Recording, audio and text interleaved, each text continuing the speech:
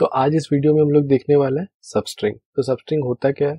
Suppose कोई भी string है, जैसे ईमेल आईडी वहाँ से अगर पूरा ईमेल आईडी का वैल्यू हमें नहीं चाहिए तो आपको कोई बोल सकता है कि पहला चार कैरेक्टर मुझे निकाल के दो लास्ट के दस कैरेक्टर मुझे निकाल के दो एट द रेट के बाद क्या है वो निकाल के दो।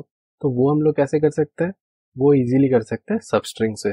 सो सबस्ट्रिंग फ़ंक्शन होता क्या है? जो एक स्ट्रिंग से पार्ट ऑफ़ द स्ट्रिंग वो फेच करे। सो so, सबस्ट्रिंग के तीन पैरामीटर्स होते हैं। वो क्या है? एक है वैल्यू दूसरा है स्टार्ट पोजीशन और तीसरा है लेंथ तो आपको ये बहुत ही ध्यान से याद रखना पड़ेगा कि तीन पैरामीटर्स होते क्या है और उनके पोजीशन क्या है।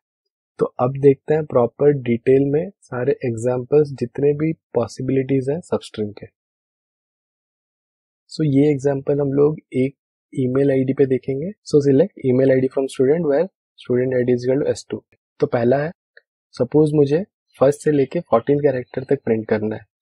तो वो मैं कैसे कर सकता हूँ? सबस्ट्रिंग ऑफ़ पहला किससे करना है? Email ID. फ़र्स्ट पोजीशन क्या है? बी, कितना लेंथ है? फोर्टीन। तो ये मैं अगर एग्जीक्यूट करता हूँ, आपको एग्जैक्ट आप गिन सकते हो एग्जैक्टली फोर्टीन कैरेक्टर। तो ये हम लोग कम कैरेक्टर्स का लेके वेरीफाई कर सकते हैं। इजीली फाइव तक अगर लेता हूँ मैं तो B I P L A तो आप काउंट कर लो, ये मेरा ईमेल आईडी का फ़र्स्ट कैरेक्टर से लेके लेंथ कितना लिया? पाँच। सो सपोज़ हमें फ़र्स्ट कैरेक्टर से नहीं सेकेंड कैरेक्टर से चाहिए तो इसे मैं ट्राई कर सकता हूँ। टू करके, इसे मैं, हम लोग लेंथ अगर सपोज़ थ्री लेते हैं, वो मेरा हो गया आई पी एल सो यहाँ पे जो मैंने ईमेल आईडी डिस्प्ले किया है, उसका लेंथ है ट्वेंटी फोर लेकिन अगर मैं अपने क्वेरी में length greater than twenty four देता हूँ सपोज़ ट्वेंटी फाइव या फिर इजी अंडरस्टैंडिंग के लिए मैं फोर्टी देता हूँ तो फिर क्या ये मेरे को एरर थ्रो करेगा? क्योंकि टोटल लेंथ से मैंने ज़्यादा लेंथ दिया है। नहीं। सो ये मेरा सेकेंड कैरेक्टर से लेके जितना भी एंड तक जितना भी कैरेक्टर्स है, वो शो करेगा। सो इसे बेटर समझने के लिए हम लोग क्या लिख सकते हैं? Email ID start position one और लेंथ 250 तो यहाँ पे हमें देखना है, क्या इस ईमेल आईडी को फैच करने के बाद जो एक्स्ट्रा लेंथ है सपोज़ इसका लेंथ है 24 उसके बाद हम लोग ने लेंथ दिया है 250 तो उसके बाद क्या स्पेस ऐड हो रहा है? तो उससे वेरीफाई करने के लिए हम लोग क्या कर सकते हैं? कॉन्केटिनेट कर सकते हैं इसके साथ टेस्ट तो उसे एग्जीक्यूट करके देखते हैं। तो नहीं, जो भी एग्जैक्ट स्ट्रिंग है फुल वही हम लोग का आ रहा है। उसके बाद टेस्ट कंकेटिनेटेड है। उसका मतलब जो भी एक्स्ट्रा लेंथ हम लोग ने दिया है, उसमें ना ही कोई स्पेस ना ही कुछ एक्स्ट्रा ऐड हो रहा है।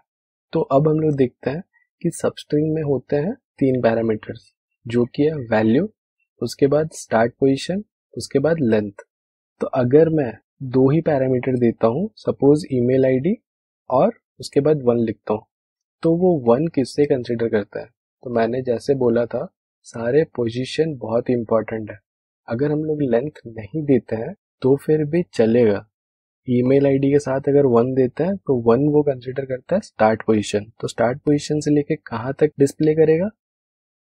पूरे आखिरी एंड तक। मतलब अगर मुझे बोला जाता है कि मेरे को फ़र्स्ट तीन कैरेक्टर नहीं चाहिए फोर्थ कैरेक्टर के बाद जो है, वो दिखाओ। तो मैं वो कैसे कर सकता हूँ? ईमेल आईडी ऑफ़ फोर बस। उसके बाद मेरे को लेंथ पता नहीं है। अगर लेंथ पता नहीं है और मुझे सब डिस्प्ले करना है तो वो मैं कैसे करूँगा? सिर्फ़ पोजीशन देके और लेंथ को मैं ब्लैंक छोड़ दूँगा। करेक्ट सो सिमिलरली जैसे मैंने लेंथ को ब्लैंक छोड़ दिया स्टार्ट पोजिशन को भी ब्लैंक छोड़ देता हूँ तो वो एरर थ्रो करेगा। हम लोग के सबस्ट्रिंग फ़ंक्शन में मिनिमम दो पैरामीटर हम लोग के कंपलसरी है। एक तो है वैल्यू और एक है पोजीशन सो so, यहाँ पे मेरा दिखा रहा है not enough arguments for function क्योंकि इस फ़ंक्शन में तीन पैरामीटर्स है तीन आर्ग्यूमेंट्स है और मिनिमम नंबर ऑफ़ आर्ग्यूमेंट्स मेरा दो है जो कि है वैल्यू और मेरा स्टार्ट पोजीशन अब हम लोग देखते हैं कि अगर मैं मेरा पोजीशन को नेगेटिव ले वन लिया तो वो वन से लेके एंड तक डिस्प्ले किया। अगर मैंने वहाँ पे फोर लिया तो फोर्थ कैरेक्टर से लेके एंड तक डिस्प्ले किया। अगर मैं इसको माइनस टेन लेता हूँ तो मेरा क्या आउटपुट आएगा? तो जब मैं माइनस टेन लेता हूँ तो आप ये देख सकते हो, ये जो स्टार्टिंग पोजीशन उसने लिया तो वो एंड से लिया। एंड से टेंथ पोजीशन से उसने स्टार्ट किया। कहाँ तक? एंड तक। जैसे मैं अगर इसे माइनस फिफ्टीन करता हूँ तो एंड से आप अगर गिनने जाओगे एम को आप फ़र्स्ट पोजीशन लोगे ओ को सेकंड और सी को थर्ड वैसे ही आप अगर उल्टा गिनोगे तो वो 15 से लेके लास्ट तक शो करेगा। करेक्ट सो हम लोग ने देखा email ID comma minus ten देने से, वो एंड से वो काउंट करता है माइनस टेन से लेके एंड तक वो प्रिंट कर देता है। अभी अगर मैं माइनस टेन कॉमा फाइव दे देता हूँ तो क्या करेगा वो? माइनस टेंथ पोजिशन मतलब एंड से वो टेंथ पोजिशन काउंट करेगा, और वहाँ से लेंथ लेगा पाँच। मतलब at the rate G M A I ये हम लोग एग्जीक्यूट करके देखते हैं। तो अब मैं क्या कर सकता हूँ? जो लेंथ मैंने फाइव दिया है, उससे माइनस फाइव करके देखते हैं क्या आएगा। तो इस क्वेरी का मीनिंग क्या हो गया? स्टार्ट पोजिशन हो गया माइनस टेन मतलब एंड से अगर हम लोग टेंथ पोजिशन गिनेंगे तो वहाँ से लेके लेंथ माइनस फाइव तो वहाँ से लेके लेंथ माइनस फाइव का कोई मतलब नहीं बनता। तो इसे अगर हम लोग एग्जीक्यूट करेंगे तो कोई एरर नहीं आएगा, लेकिन कोई वैल्यूज़ भी फेच नहीं हो आएँगे। तो यहाँ पे हम लोग ने देखा सबस्ट्रिंग होता क्या है? सबस्ट्रिंग यूज़ क्यों होता है? और डिफरेंट डिफरेंट पॉसिबिलिटीज जिसमें हम लोग सबस्ट्रिंग यूज़ कर सकते हैं। तो वीडियो को लाइक करें और चैनल को ज़रूर सब्सक्राइब करें। इंस्टाग्राम में आप मुझे मैसेज कर सकते हो कोई भी डाउट पूछने के लिए। लिंक मैंने नीचे डिस्क्रिप्शन में दे दिया है। Thanks for watching this video